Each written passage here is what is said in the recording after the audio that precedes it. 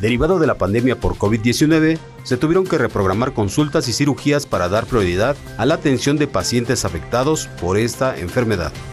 Sin embargo, con la disminución de estos casos, se han comenzado a reactivar las citas e intervenciones pendientes y paulatinamente todas las áreas médicas irán regresando a la normalidad en beneficio de la población derechohabiente.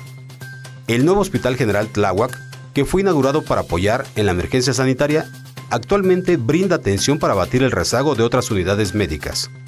El ISTE publicó una guía operativa para la continuidad de los servicios de salud dirigida al personal médico, la cual establece las reglas para la reconversión según el semáforo epidemiológico de cada entidad. Gobierno de México.